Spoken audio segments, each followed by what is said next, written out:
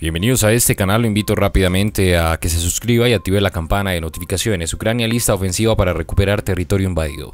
Al menos 50 países de Occidente están aliados con Ucrania y rechazan la invasión de Rusia. Recuerde dejar un comentario en este video y un me gusta también para apoyarnos. Muchísimas gracias. El secretario general de la OTAN, Jens Stoltenberg, advirtió que Ucrania está lista para lanzar una contraofensiva que le permita recuperar territorios ocupados por las tropas invasoras rusas. Confío en que los ucranianos están en condiciones de liberar más territorios, declaró Stoltenberg al margen de una reunión de unos 50 países aliados de Ucrania en la base militar estadounidense de Ramstein. Horas antes, el secretario de Defensa estadounidense aseguró que el apoyo internacional a Ucrania sigue firme y es verdadero. El presidente Zelensky les instó a sus aliados occidentales en el envío de más aviones de combate y proyectiles de largo alcance. Zelensky hizo sus peticiones directamente a Stoltenberg, quien a propósito visitó Kyiv antes de dirigirse a Ramstein. En la reunión del grupo de contacto nos centramos en tres cuestiones clave. Defensa aérea, municiones y habilitadores, dijo Austin refiriéndose a la logística y otros apoyos que permiten operar a las unidades militares. Zelensky solicitó la ayuda de la OTAN para superar las reticencias de algunos Estados miembros a la hora de proporcionar cohetes de largo alcance, aviones de combate modernos y vehículos blindados. ¿Qué opina de esta información? Nuevamente los invito a suscribirse y activar la campana de notificaciones. Gracias por estar acá. Noticias al día.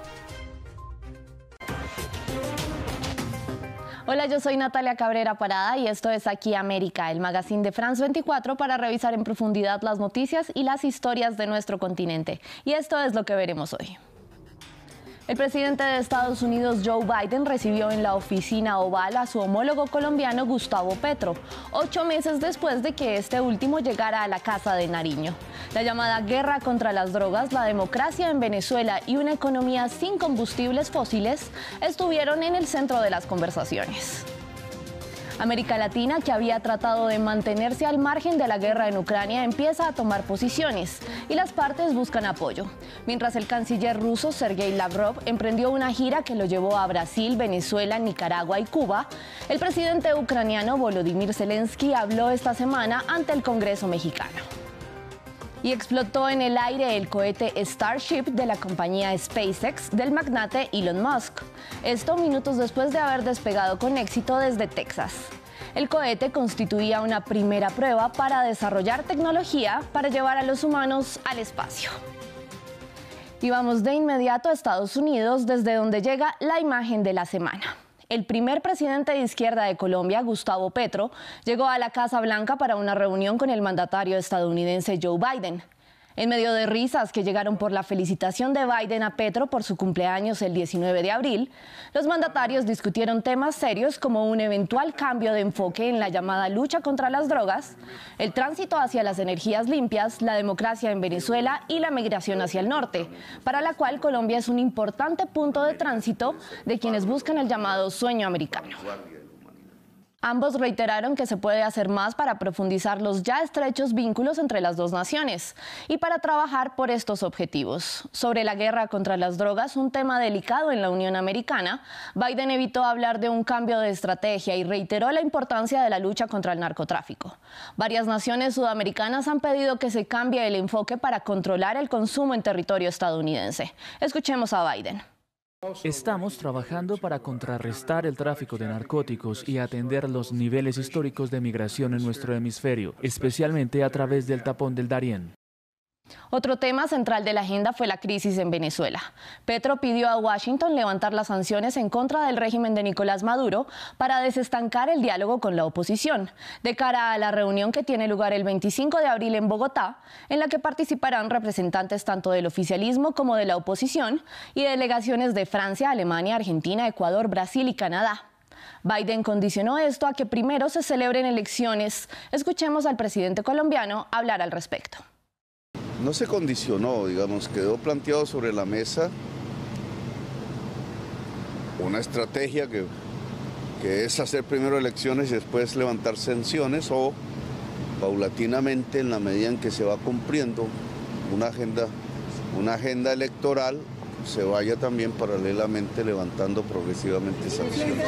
No, yo no soy mediador, Si bien en los temas anteriores no se vislumbran conclusiones claras, una de las prioridades de Petro en la reunión con Biden era abordar políticas para combatir el cambio climático. Frente a esto, logró que el mandatario estadounidense pidiera al Congreso aprobar un desembolso de 500 millones de dólares para proteger la Amazonía y vamos a quedarnos allí en Washington, pero cambiamos de tema.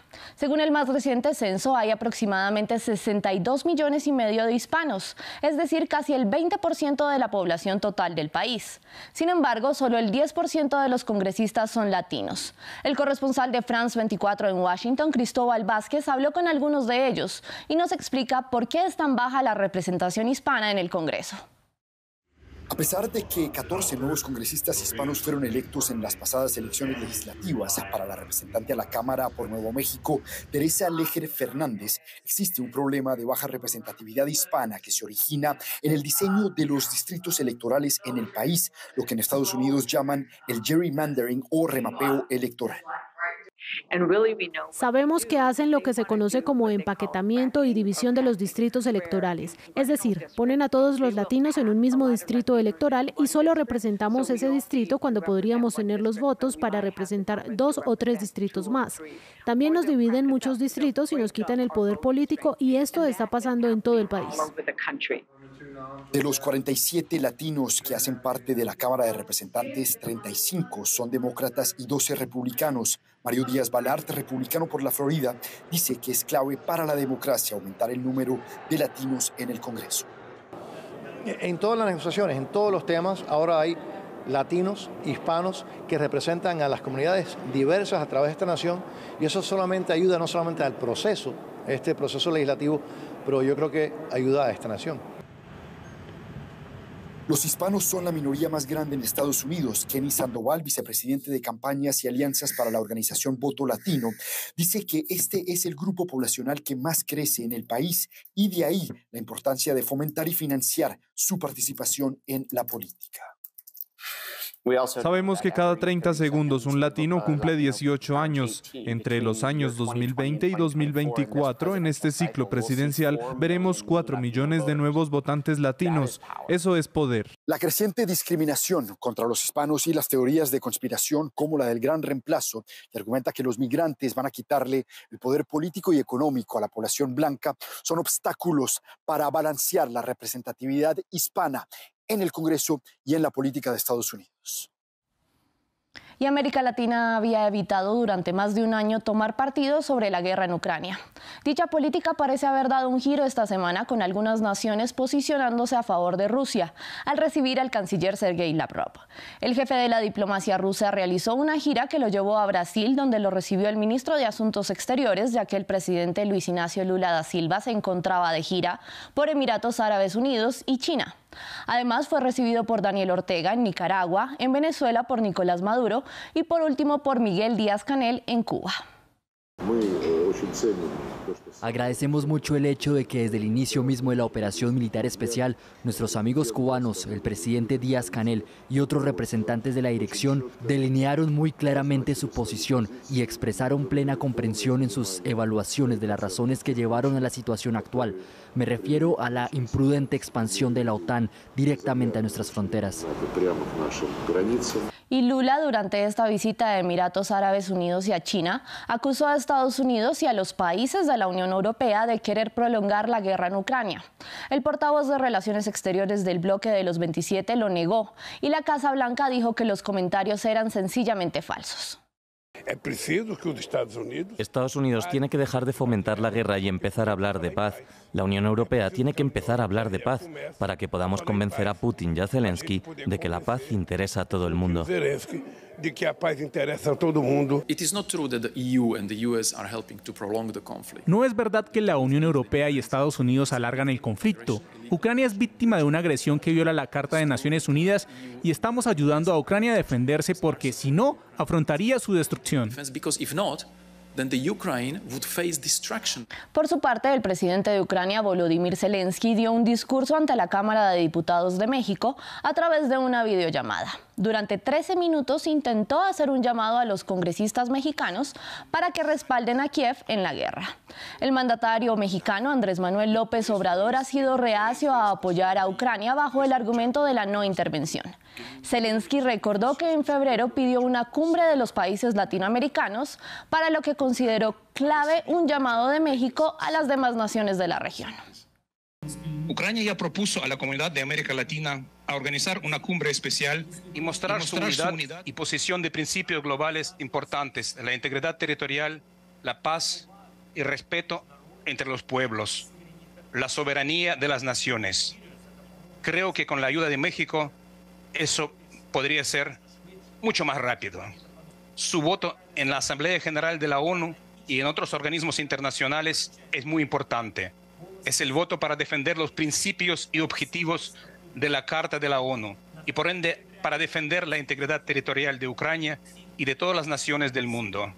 Y sigamos en Cuba. Como se esperaba, Miguel Díaz Canel fue nombrado presidente de la isla durante la legislatura del Parlamento.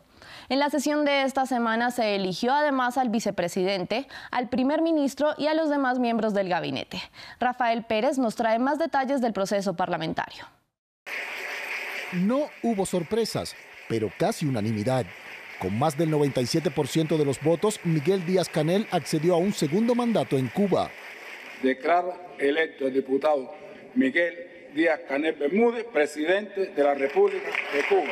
Serán otros cinco años con el timonel de los destinos de la isla y un último periodo según la Constitución, en lo que puede representar el último acto de formación de gobierno en presencia de los fundadores políticos del país. Díaz Canel tuvo palabras para los que lo adversan. Pero no puedo dejar de contrastar actitudes. La de los que critican del modo más efectivo, luchando, haciendo, mostrando o creando soluciones y la de aquellos que solo ven los errores y las culpas de otros. A su vez, el jefe de Estado propuso a Manuel Marrero para desempeñarse como primer ministro, mandato ratificado por la Asamblea. La máxima dirección del país se mantiene intacta. Solo el Consejo de Ministros sufrió leves cambios. Seis nuevos integrantes fueron propuestos. De la generación de guerrilleros de Fidel, solo uno se mantiene, Ramiro Valdés Menéndez, próximo a cumplir 91 años, quien se desempeña como viceprimer ministro.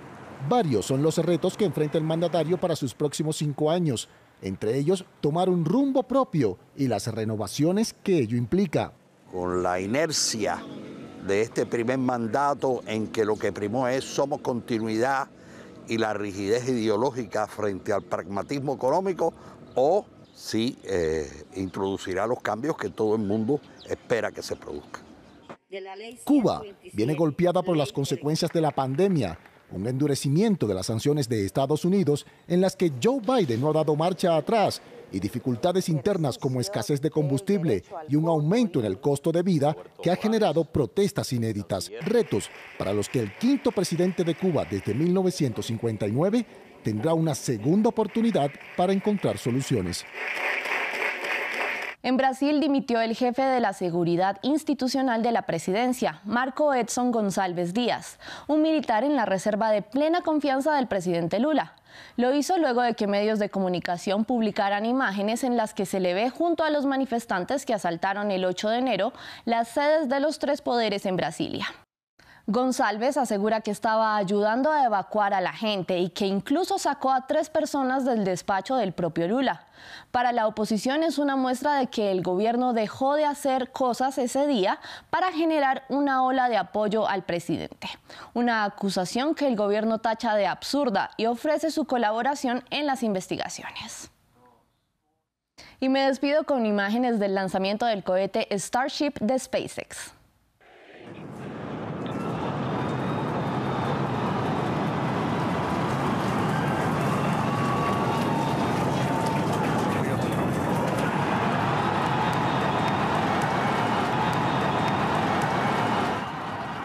El cohete despegó desde Boca Chica, en Texas, pero explotó segundos después.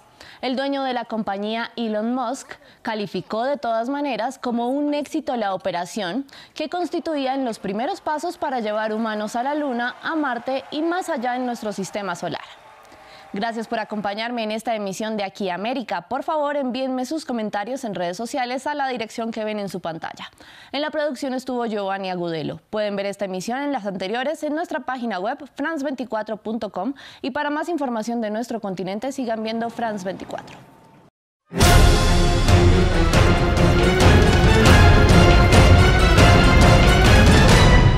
Si no te quieres perder de los últimos acontecimientos que pasan en el mundo, suscríbete y activa la campana. Somos Noticias al Día.